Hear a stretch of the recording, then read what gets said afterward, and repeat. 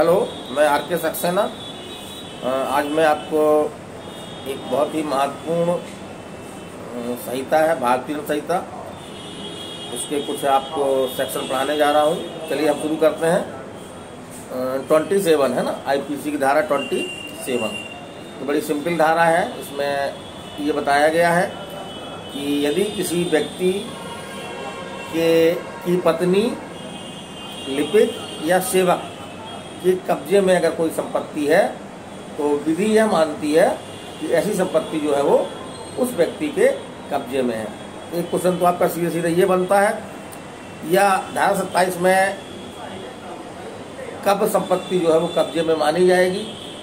तो जैसे किस किस कब्जे में संपत्ति है कि उस व्यक्ति के कब्जे में संपत्ति मानी जाएगी इनमें से कौन सा गलत है? तो उसमें आपके विकल्प बनाएगा तो ए दे देगा पत्नी, बी में लिपिक, सी में सेवक और डी में दे देगा जैसे मान लीजिए रिश्तेदार। इस तरह का क्वेश्चन आपके एग्ज़ाम में आया है तो इस एंगल से भी आप इसको जो है वो समझ लीजिए। चलिए चलिए आगे चलते हैं।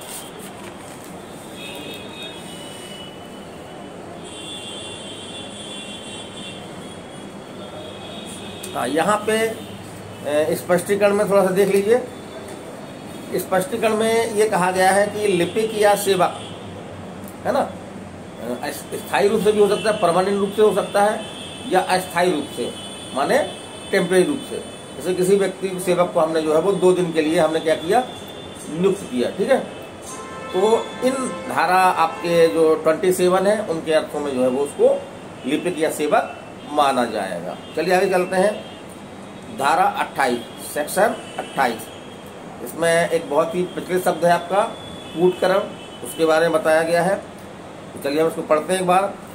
जो व्यक्ति एक चीज़ को, है ना, कोई व्यक्ति है जो एक चीज़ को जो है वो दूसरी चीज़ के सदृश मतलब उसके जैसे इस आशय से तो यहाँ पे आशय इंपॉर्टेंट है, इस आशय से करता है कि वह उस जो उसने वस्तु बनाई है, दूसरी वस्तु जो उससे मिलती जुलती है उस सदस्य से प्रवचना करे। मैंने किसी व्यक्ति के साथ जो है वो, किसी व्यक्ति को गलत जानकारी दे वो वस्तु जो है वो वही वस्तु है, असली वस्तु है ना? या संभाव जानता है। या वो संभाव जानता है, वो करता नहीं है, लेकिन उसको ये जानकारी है, ये संभाव, पूरी संभावना है कि जो वस्तु उसने सदस्य वस्तु बनाई है, उसके द्वारा जो है वो कोई प्रवंचना की जा सकती है। उसके द्वारा कोई प्रवंचना जो है वो की जा सकती है। तो वह व्यक्ति क्या करता है? कूटकरण करता है। अब इसको अपन देखते हैं, स्पष्टीकरण है इसमें, जैसे कि कूटकरण के लिए यह आवश्यक नहीं कि नकल ठीक वैसी ही हो। ये बहुत महत्वपूर्ण फैक्ट है। इससे आपके क्वेश्चन आया है कि मान लीजिए कि ये बोतल है है ना? इसी हमने कोई दूसरी वस्तु, एक दूसरी बोतल हम बनाते हैं जो लगभग इससे मिलती जुलती है। लेकिन स्पष्टीकरण में ये कहा गया कि बिल्कुल ये परफेक्ट ज़रूरी नहीं है कि वो सेम मतलब ये बोतल हो।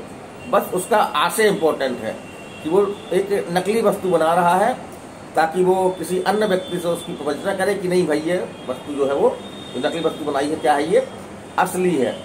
या डायरेक्ट उसका इंटेंशन नहीं है, लेकिन वो क्या उसका ये संभावना जानता है वो? इसके पर्याप्त कारण रखता है वो कि कोई भी व्यक्ति जो है वो अगर इस वस्तु को देखेगा तो वही समझेगा कि ये वस्तु जो है वो असली वस्तु है, ठीक है? अब यहाँ पे हम देखते हैं कि हूबहू नकल होना आवश्यक नहीं है। तो ये इंपॉर्टेंट है आपका, है ना? हूबहू नकल होना जो है आवश्यक नहीं है। जबकि कोई व्यक्ति एक चीज़ को दूसरी चीज़ के सदस्य कर देता है, और सदस्य ऐसा है कि तद द्वारा किसी व्यक्ति को प्रचना हो सकती हो तो तब जबकि तत्प्रतिकूल साबित न कर दिया जाए, यह उदाहरणा की जाएगी। तो यहाँ पे मामला जो है वो उदाहरणा का है। माने एक व्यक्ति अगर दूसरी सदस्य वस्तु बनाता है तो उसके बारे में ये धारणा की जाएगी कि ऐसा जो है वो प्रवंचना के उद्देश्य कर रहा है है ना? तो जब तक वो इस बात को साबित न कर दे कि नहीं, हमारा ऐसा कोई इंटेंशन नहीं था, हम तो नॉर्मली वस्तु बना रहे थे, उससे फाक था कि उस वस्तु से हमारी वस्तु जो है वो मेल खा गई, ठीक है? तो इससे आपके क्वेश्चन क्या क्या बनते हैं? कि कूटकर्ण क्या है? तो कूटकर्ण के लिए आपका द्वितीय क्या चीज़ है? फैक्ट क्या क्या है इसके? तो पहला क्या है कि एक कोई असली वस्तु है है ना? और उसके डुप्लीकेट कोई वस्तु बनाता है। और किस आशय से बनाता है? इस आशय से बनाता है कि किसी अन्य व्यक्ति से ये प्रवचना की जाए कि ये जो है वो डुप्लीकेट वस्तु नहीं है, असली वाली वस्तु है। या डायरेक्ट इंटेंशन नहीं है उसका तो क्या होगा? डायरेक्ट इंटेंशन ना होने की स्थिति में यदि वो संभावना जानता है कि जो वस्तु हमने दूसरी नकली वस्तु बनाई है, जो उससे हमने दूसरी कापी उसकी तैयार की है उस वस्तु से जो है प्रवंचना की जा सकती है। तो क्या कहा जाता है वो व्यक्ति जो है क्या करता है? कूटकर्ण करता है। फिर इसके स्पष्टीकरण एक में बहुत महत्वपूर्ण बात कही गई है। क्या कही गई है? कि कूटकर्ण के लिए ये ज़रूरी नहीं है कि हु नकल हो। हु नकल हो। क्योंकि इस तरह से क्या करते हैं? बहुत से होशियार व्यक्ति होते हैं। कोई मामूली सा अंतर कर देते हैं उसमें, है ना? और उसका उसका सहारा लेते हैं कि भाई इसमें तो ये अंतर है। ये बोतल हम देख रहे हैं आपको ये ये बोतल देख रहे हैं ना, पूरा सेम बना दिया, लेकिन ये चीज़ उसमें लगी हुई ये चीज़, है ना? ये कुब्बे टाइप के लग, दिख रहे हैं इसके ये तो ये चीज़ उसने नहीं बनाई।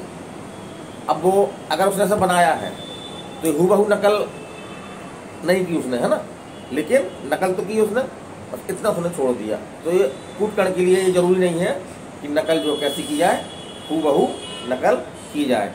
और दूसरी बात जो कही गई है कि यदि कोई व्यक्ति, है ना अगर उसकी कोई कापी बनाता है, उसकी जैसी कोई वस्तु बनाता है तो जब तक वो प्रतिकूल साबित ना कर दे, तब तक विधि क्या मानेगी? विधि ये मानेगी कि उसने क्या किया है? कूट कण के आशय से उस वस्तु का जो है वो बनाया है। इतना ये सेक्शन है बता आए समझ में?